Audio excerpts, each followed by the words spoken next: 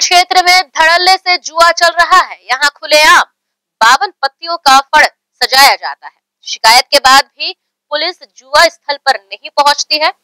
जुआरी जुआ खेलने के साथ साथ लाखों रुपए का दाव भी लगाते यहाँ कवर्धा ज़िले सहित अन्य ज़िले से भी जुआरी ताश खेलने पहुँचते हैं।